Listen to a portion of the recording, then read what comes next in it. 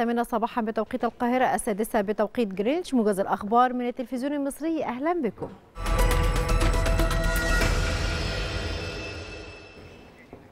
وجه الرئيس عبد الفتاح السيسي بضرورة مراعاة تطبيق المواصفات القياسية في تطوير محور جمال عبد الناصر بما يشمل أعمال التخطيط المروري واللافتات الإرشادية للمناطق السكنية والخدمية. جاء ذلك خلال جولة تفقدية للرئيس السيسي للأعمال الإنشائية لتطوير عدد من الطرق والمحاور بالقاهرة الكبرى. وصرح المتحدث باسم رئاسة الجمهورية بأن جولة الرئيس السيسي شملت تفقد أعمال تطوير محور جمال عبد الناصر.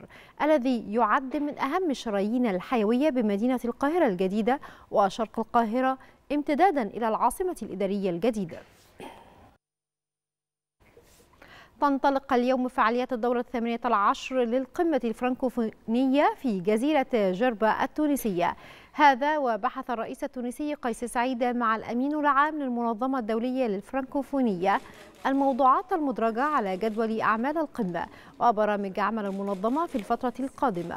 وقال الرئيس التونسي إن تونس تستضيف القمة احتراما لالتزاماتها بالرغم من الصعوبات التي اعترضت مسار تنظيمها معربا عن تقديره لتعاون المنظمة الدولية الفرنكوفونية في كل مراحل إعداد القمة.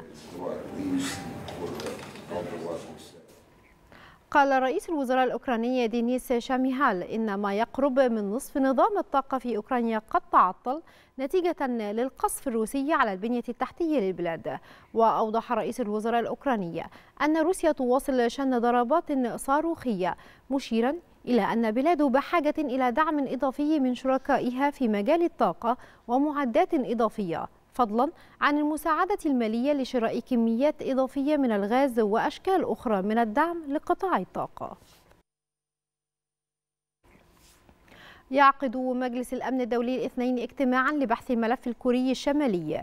يأتي ذلك بعد أن أجرت بيونغ يانغ تجربة جديدة على صاروخ باليستي عابر للقارات أثار تنديدات دولية وكان مسؤول كبير بالإدارة الأمريكية قال إن أحدث تجربة صاروخية أجرتها كوريا الشمالية كانت على صاروخ طويل المدى يمكنه إصابة العديد من البلدان.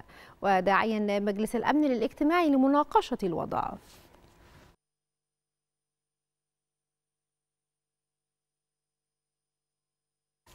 قال مسؤول بالبيت الأبيض إن نائبة الرئيس الأمريكي كاملا هاريس التقت لمدة قصيرة مع الرئيس الصيني شي جين بينغ وأضاف المسؤول أن هاريس أشارت إلى الرسالة الهامة التي أكد عليها الرئيس جو بايدن في اجتماعه مع الرئيس الصيني فيما يتعلق بضرورة وجود خطوط اتصال مفتوحة لإدارة المنافسة بين البلدين بمسؤولية.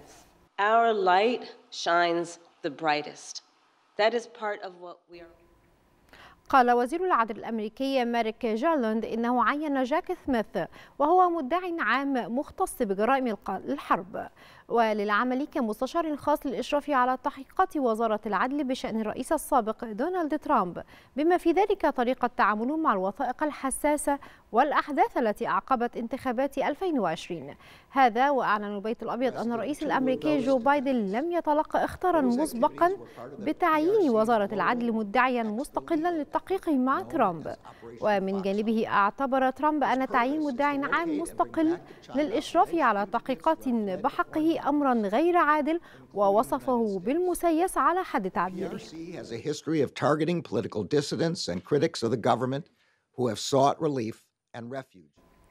نفذ سلاح الجو الملكي البريطاني أول رحلة جوية عسكرية باستخدام وقود مستدام بنسبة 100% في العالم.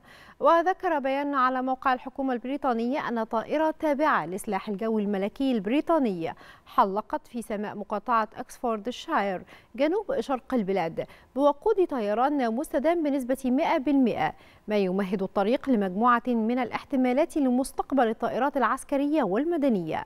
وأشار البيان إلى أن وجود الطيران المستدام يقلل من انبعاثات الكربون في دورة الحياة في المتوسط بنسبة تصل إلى 80% مقارنة بوقود الطائرات التقليدية.